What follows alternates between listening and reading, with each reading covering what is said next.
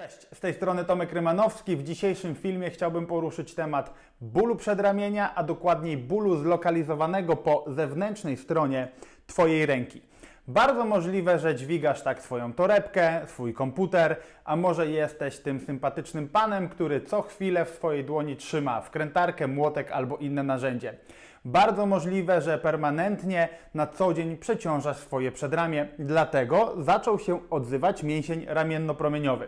Mięsień ramienno-promieniowy, gdy jest mocno napięty, lubi podszywać się pod różnego rodzaju e, inne dysfunkcje, typowe dla kręgosłupa szyjnego, związane z kręgosłupem szyjnym. Co mam na myśli? Jeśli w przebiegu mięśnia ramienno-promieniowego powstaną trigger pointy, powstaną punkty spustowe, to bardzo często ból rzutowany będzie wędrował w stronę Twojej dłoni, jej zewnętrznej części, a także wzdłuż ramienia, przez Twój mięsień naramienny, przez mięsień czworoboczny, aż do odcinka szyjnego kręgosłupa. Dlatego osoby, które mają problem z mięśniem ramienno-promieniowym, bardzo często przechodzą szereg badań, które dotyczą diagnostyki odcinka szyjnego kręgosłupa. Dlatego, że e, mięsień ramienno-promieniowy, tak jak wcześniej wspomniałem, gdy pojawiają się w jego przebiegu e, punkty spustowe, daje ból rzutowany do ręki i do szyi. Tak więc właściwie cała zewnętrzna część kończyny górnej zaczyna boleć. Pojawia się dyskomfort, pojawia się problem z ruchami rotacyjnymi e, dłoni, przedramienia, ciężko jest wykonać zgięcie w stawie łokciowym, ciężko jest unieść rękę, by sięgnąć po coś e, chociażby wysoko do szafki. Tak więc bardzo często problematyczny jest mięsień ramienno-promieniowy.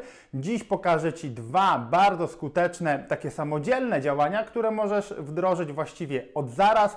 Możesz wykonywać je w domu, na siłowni, na wyjeździe, gdzie tylko chcesz. Są bardzo proste, bardzo szybkie, tak więc przechodzimy do działania. Dobrze, przechodzimy do działania, przechodzimy do pierwszego zadania, pierwszego ćwiczenia. Na początku wypalpuj mięsień ramienno-promieniowy, znajduje się on w tym miejscu. E, w jego przebiegu znajdź punkt, który pod wpływem kompresji ucisku będzie dawał ból. Bardzo możliwe, że ten ból będzie miejscowy, ewentualnie będzie promieniował, rzutował wzdłuż Twojego przedramienia do dłoni albo wzdłuż Twojego ramienia do karku. Tak więc znajdujesz tkliwy, bolesny punkt, który może promieniować, jak wcześniej wspomniałem, na mięśniu ramienno-promieniowym, kompresujesz go i zastygasz w tej pozycji. Czekasz do momentu wyłączenia informacji bólowej.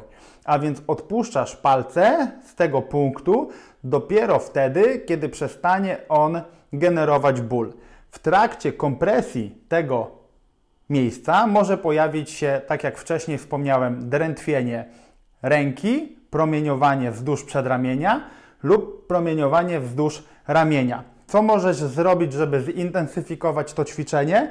W momencie, kiedy skompresujesz już mięsień ramienno-promieniowy, możesz dodać delikatne ruchy zginania nadgarstka. Spróbuj wykonać tą kompresję około 30 sekund, 60 sekund, nawet do 2 minut. Wszystko zależy od stanu Twojego mięśnia ramienno-promieniowego. Drugie ćwiczenie też jest bardzo proste. Wszystko, czego potrzebujesz, to krzesło. Tą część opierasz o siedzisko krzesła i teraz zwróć uwagę, w którym kierunku skierowany jest mój mięsień ramienno-promieniowy. Jest skierowany troszeczkę do zewnątrz. Spróbuj zatem obrócić swoją rękę, tak by mięsień ramienno-promieniowy był skierowany bezpośrednio w przód. Palce dajesz szeroko, zadbaj o to, aby cała dłoń przylegała do siedziska. Co teraz możesz zrobić, aby zintensyfikować to ćwiczenie?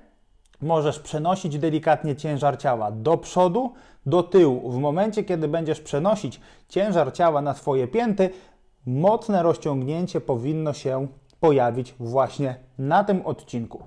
Też wykonujesz sobie to ćwiczenie powoli, nie śpiesz się, daj sobie czas. Możesz zastygnąć w tej pozycji na czas 30 sekund, minuty, a nawet dwóch. Jak widzisz, praca z mięśniem ramienno-promieniowym wcale nie jest trudna. Jedyne, czego potrzebujesz, to systematyczności, regularnego treningu. Pamiętaj o tym, aby też zadbać o swoje środowisko pracy, może w troszeczkę inny sposób pracować, dźwigać ciężary, może troszeczkę inaczej dźwigać swoją torebkę, komputer, to też jest bardzo istotne.